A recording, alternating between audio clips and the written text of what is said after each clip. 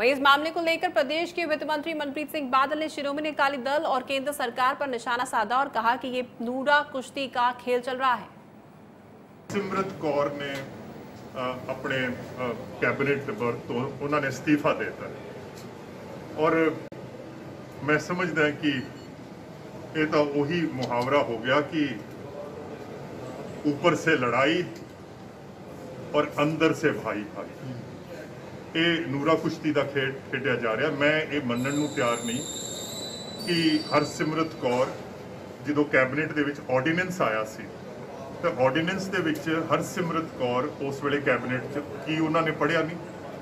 ਮੈਂ ਇਹ ਮੰਨਣ ਨੂੰ ਤਿਆਰ ਨਹੀਂ ਕਿ ਉਹਨਾਂ ਨੂੰ ਪੜ੍ਹਨਾ ਨਹੀਂ ਆਉਂਦਾ। ਜਿਹੜੀ ਪਾਰਟੀ ਨੇ ਪਿਛਲੇ ਪੰਜਾਬ 'ਚ ਪਿਛਲੇ ਅ, 20 ਸਾਲਾਂ 'ਚ 15 ਸਾਲ ਹਕੂਮਤ ਕੀਤੀ ਹੋਵੇ ਮੈਂ ਨਹੀਂ ਸਮਝਦਾ ਕਿ ਉਹਨਾਂ ਨੂੰ ਇਹ ਨਹੀਂ ਹੋਣਾ ਕਿ ਆਰਡੀਨੈਂਸ ਹੋਇਆ ਕੀ ਹੈ। ਦੂਸਰਾ ਕੀ ਹੁੰਦਾ ਹੈ?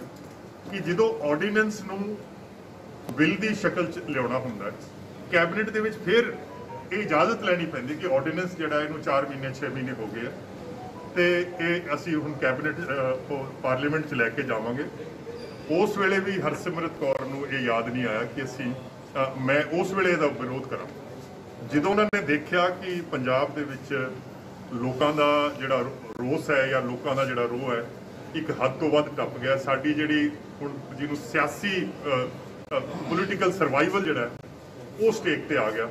ਤਾਂ ਉਹਨਾਂ ਨੇ ਕੱਲ ਰਾਤ ਜਿਹੜਾ ਇਹ ਅਸਤੀਫਾ ਦਿੱਤਾ ਉਹ ਕਹਿੰਦੇ ਵੀ ਝੂਠ, ਜਮਾ ਝੂਠ ਇਜ਼ ਇਕੁਅਲ ਟੂ ਝੂਠ। ਸਿਫਰ ਜਮਾ, ਸਿਫਰ ਇਜ਼ ਇਕੁਅਲ ਟੂ ਸਿਫਰ।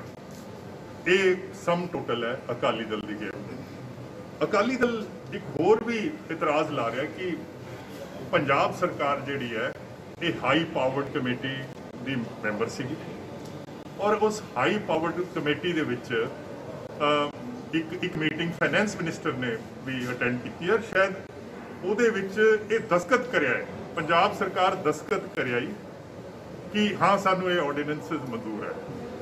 ਸਭ ਮੈਂ ਕਿਉਂਕਿ ਇਹ ਤਾਂ ਹੋ ਸਕਦਾ ਹੈ ਕਿ ਕੋਈ ਕਿਸੇ ਆਵਾਮੀ ਜਲਸੇ 'ਚ ਗੱਲ ਕਹਿ ਦੇਣੀ, ਸਿਆਸੀ ਸ਼ੋਖਾਬਾਜ਼ੀ ਇਹ ਤਾਂ ਗੱਲ ਮੰਨਣ ਨੂੰ ਤਿਆਰ ਹੈ ਕਿ ਕਿਸੇ ਨੇ ਕੋਈ ਕੁਝ ਵੀ ਕਹਿਤਾ ਤੇ ਲੋਕਾਂ ਨੇ ਮੰਨ ਲਿਆ।